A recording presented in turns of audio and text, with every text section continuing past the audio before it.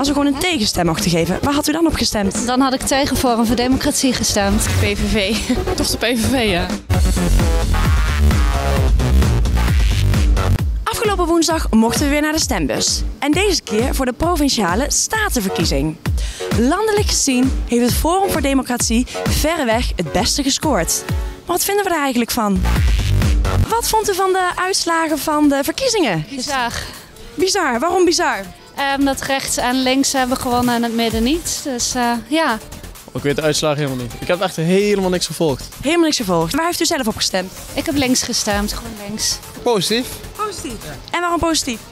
Uh, hoe heet die weer? Die, uh... Forum voor uh, Democratie? Ja, ik op stuk sta ik wel achter inderdaad, ja.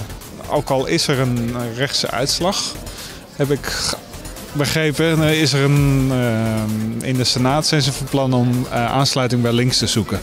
Om, dat betekent dat eigenlijk de regering in zijn geheel naar links schuift. ook al hebben een aantal partijen rechts gewonnen. Sommige uitspraken zijn iets te, te recht, maar sommige uitspraken zijn wel, ja, die kloppen wel denk ik. Daar sta ik wel achter. Ja, ja heel verrassend. Heel verrassend. En waarom heel verrassend? Ja, ja, nou ik moet zeggen, want ik ben niet zo politiek uh, gericht. Dat hoeft ook niet. Ja, maar uh, dat ik denk van, oh, van nul naar zoveel zetels, denk ik van... Nou, dan uh, heeft hij zich er goed in gepraat. Om het is ja. in, hè, in normale taal te horen. Ik heb geen mening, zeg jij um, Ja, ik had niet verwacht dat de Forum van Democratie zo hoog had gescoord.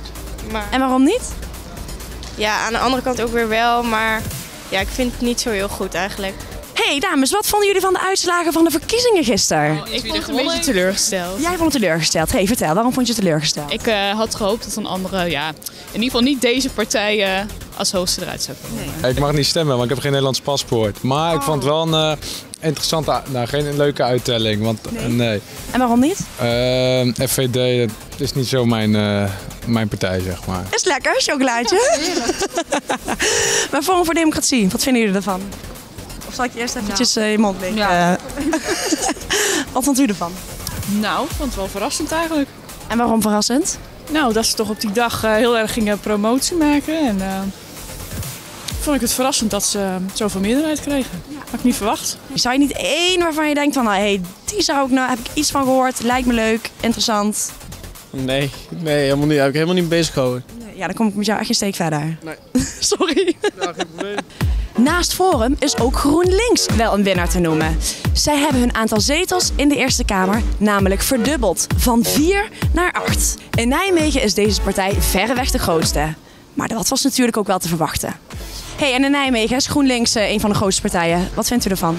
Wat minder, maar ik kom met name denken omdat het een studentenstad is. Ik ben ook student, dus dan uh, ja, kom je een beetje overeen met die dingen. Wat vindt u daarvan? Mooi. Heel mooi. Ja, ik, vind, ik ben zelf wel ook wel voor GroenLinks, maar ik vind de klimaatmaatregelen of, uh, maatregelen wel heel erg drastisch. Dus ja, daarom, ja, vind het wel goed, maar ik vind het wel een beetje te drastisch, die veranderingen die hij wil doorvoeren, of die GroenLinks wil doorvoeren. Ook goed. Die vind je dus eigenlijk wel goed? Ja, ik vind heel veel partijen gewoon goed, maar ja, die er nou bovenaan staat, die... Uh... Die eigenlijk niet. Veel mensen zijn niet vooral voor één partij, maar willen vooral voorkomen dat niet andere partijen aan de macht komen. Maar waar zou jij nu op stemmen? Als je niet voor een partij kon kiezen, maar juist tegen een partij. Als we gewoon een tegenstem mochten geven, waar had u dan op gestemd? Dan had ik tegen Forum voor Democratie gestemd. Ja. En waarom? Um, omdat ik daar niet echt achter kan staan. Dat je zegt van nou, die mag het überhaupt niet worden. Of de uh, FVD was het nou, ja. ja. Die allebei niet. Dus echt uh, hele rechtse die uh, mogen van jou niet? Nee. Um, ja, dat wordt denk ik te ingewikkeld als iedereen. Wordt te ingewikkeld. Maar waar zou jij op stemmen? PVV. PVV. En waarom? Nou, omdat wat hij allemaal vertelt, dat kan hij allemaal toch niet waarmaken. Het is allemaal mooi wat hij vertelt, voor sommige mensen dan. Maar het is echt niet realistisch, zeg maar. Toch de PVV, ja. De PVV, heel duidelijk. Oké, okay. hey, dankjewel genieten van de chocola. Joe! Vond je deze video nou leuk? Geef hem dan een like en volg ons op YouTube en WZHV19 op Instagram. Dus ook op YouTube, WZHV19.